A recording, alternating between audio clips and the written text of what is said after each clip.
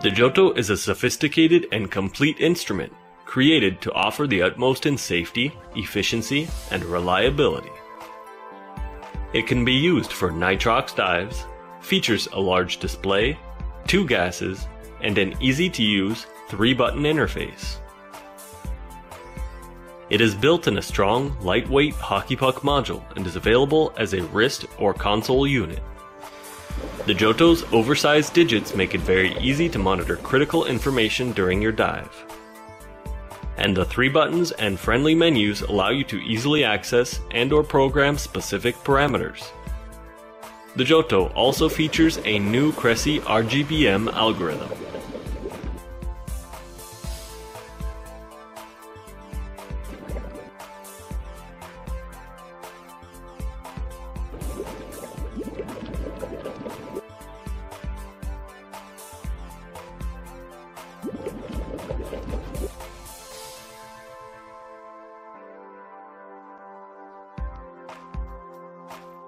You